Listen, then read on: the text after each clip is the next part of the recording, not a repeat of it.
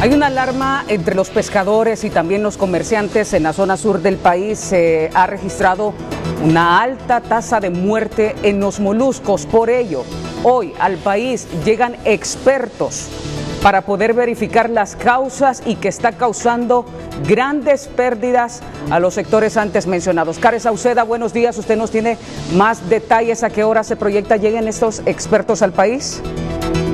Buenos días, Y eh, y a todos. Efectivamente, los pescadores artesanales aquí están preocupados y desesperados, precisamente como usted lo mencionaba, por la muerte de moluscos. Entre ellos estamos hablando que son los que trabajan, son de los que ellos se agencian. Eh, estamos hablando de curiles, los cascos, las almejas y las churrias, como ellos le llaman, entre otros. Esto pues ha mantenido a los pescadores artesanales del Golfo de Fonseca muy preocupados y en alarma. Ellos están pidiendo a las autoridades que envíen a personal eh, especializado para que investigue qué es lo que está ocurriendo específicamente.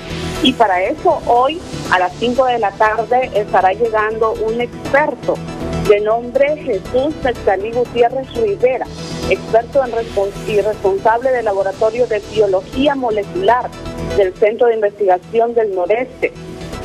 Esto, eh, pues ellos estarán, él es de origen mexicano, estará llegando a eso de las 5 de la tarde, nos informaban algunas autoridades de San Lorenzo para realizar toda esa investigación, llevar eh, las muestras y conocer qué es lo que está ocasionando exactamente la muerte de miles de moluscos. Karen, sí, todo esto, esto ocurre en, en todo el Golfo de Fonseca, ¿verdad?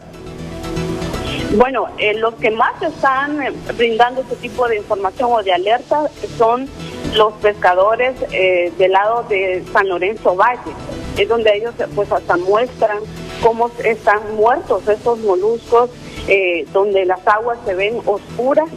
Y este es el reporte que se mantiene por parte de los pescadores de San Lorenzo Valle y donde ellos pues en estos momentos no pueden trabajar porque estas especies marinas están completamente muertas y ellos y ellos temen también que estén contaminadas las pocas que pueden capturar o pescar en este caso. Sí, la Fiscalía eh, días anteriores se hizo presente al lugar para hacer las previas investigaciones ahí en el sector eh, costero del Golfo de Fonseca. Karen, vamos a estar a la espera. Es un grupo de bastantes pescadores artesanales los que están exigiendo desde hace ya semanas que vengan expertos a analizar, pues en el país solamente se puede analizar, según analistas, eh, los problemas en los camarones.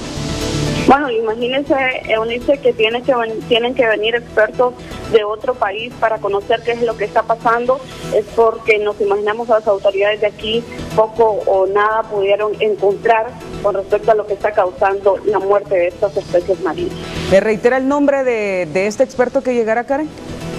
Jesús Lecalí Gutiérrez Rivera, responsable del Laboratorio de Biología Molecular. Gracias Karen Sauceda desde la zona sur del país. Graves daños tanto a la biodiversidad del ecosistema como al bolsillo de los pescadores artesanales y el comercio y también al turismo, pues muchas personas están asustadas y temen ingerir alimentos relacionados a los mariscos.